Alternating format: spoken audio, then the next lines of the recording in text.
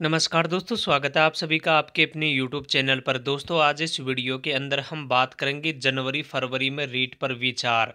रीट भर्ती 2019 जनवरी प्रथम सप्ताह में होगी, इक्कीस हज़ार पदों पर होगी शिक्षक भर्ती, बुधवार तक जारी होगा नया विज्ञापन।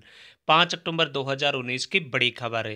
दोस्तों, वीडियो शुरू करने से पहले आपसे एक छोटी सी रिक्वेस्ट करना चाहूँगा। अगर आप शिक्षित, बेरोजगार हैं और कोई भी बढ़ती परीक्षा की तैयारी कर रहे हैं तो उसकी सूचना सबसे पहले आपको इस यूट्यूब चैनल के ऊपर दी जाती है। वो भी सौ परसेंट सत्य सूचना।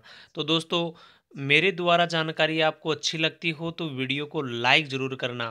तो दोस्तों, देख लेते हैं क्या है पूरी खबर। जी हाँ दोस्तों, अब जनवरी फरवरी में रीट पर विचार। जयपुर में कल होगी बैठक। अधिसूचना जारी करने पर हो सकता है निर्णय।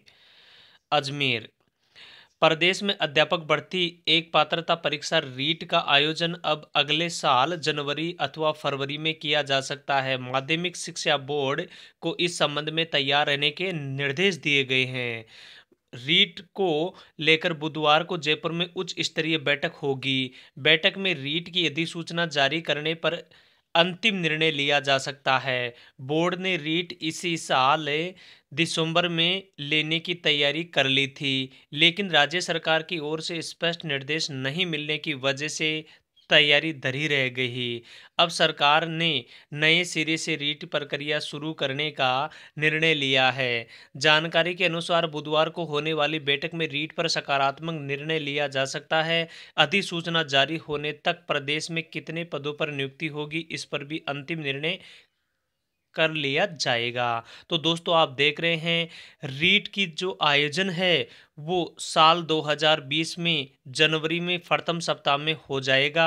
और साथ ही इसकी जो अधिसूचना है इसकी बुधवार को मीटिंग है और मीटिंग के साथ ही इसका नया विज्ञापन है वो जारी भी कर दिया जाएगा। दोस्तों दे, देख लेते हैं कि माध्यमिक शिक्षा बोर्ड के जो अध्यक्ष हैं उन्होंने कहा है रीट अगले साल जनवरी अथवा फरवरी के प्रथम सप्ताह में आयोजित की जा सकती है। रीट को लेकर एक महत्वपूर्ण उच्च स्तरीय बैठक बुधवार को जयपुर में होनी है। इसमें अंतिम निर्णय लिया जा सकता है। प्रोफेसर बी एल चौधरी, अध्यक्ष, माध्यमिक शिक्षा बोर्ड, राजस्थान, अजमेर। दोस्तों, बिल्कुल ऑथेंटिक राजस्थान पत्रिका की अजमेर की खबर है। पिछले साल फरवरी में हुई थी परीक्षा। तो दोस्तों, जल्दी इसका विज्ञापन है, वो जारी किया जाएगा। ये भर्ती परीक्षा इक्कीस हज़ार पदों के लिए की जाएगी। तो दोस्तों, इसके नोटिफिकेशन जब भी जारी होगा तो वीडियो के माध्यम से आपको सबसे पहले सूचित किया जाएगा।